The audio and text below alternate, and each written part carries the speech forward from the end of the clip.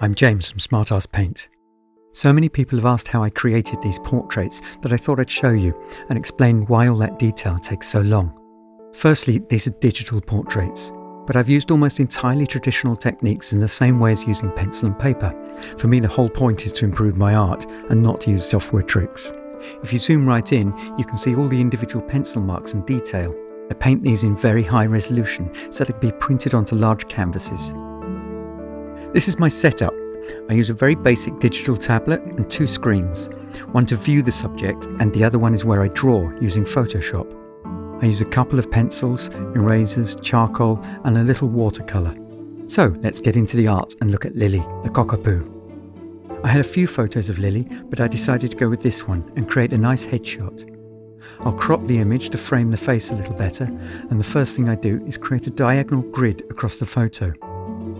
I'll do this on my canvas, and this is a great way to check if the proportions are accurate as you draw. The next step is to get the important features exactly in the right place. Everything depends on the eyes, nose and mouth. I learnt from this Da Vinci copy I drew that the slightest change in features gives you a completely different expression. I make a rough sketch, and when I'm sure that's accurate, I begin the actual drawing. In these initial stages, it can be difficult to see that you'll end up with a successful portrait. For me, if the eyes and the nose are accurate, you can see the character and move on to stage two. This is where I add major blocks of shading. I slowly build up the shading in a similar way to a painting. I remember that Lily was tricky because of her fur.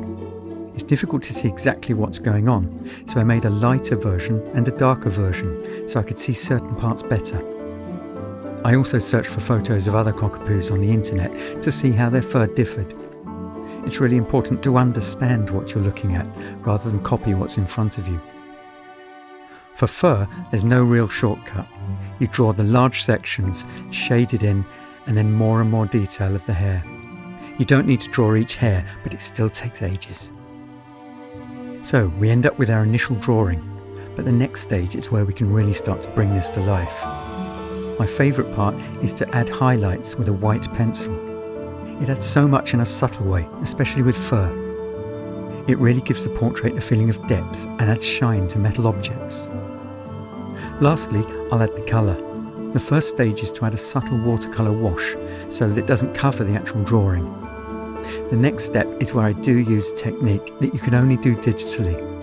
I paint underneath the drawing. This way I can create lots of depth and bold colour while still retaining the original drawing with all the white highlights. So here's the completed portrait. If you'd like to see more art, you can keep up to date on Facebook, Instagram, and the website will be live very shortly.